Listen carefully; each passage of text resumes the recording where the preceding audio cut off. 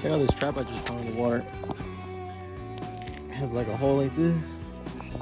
Big ass sculpin in there. Look at that dude.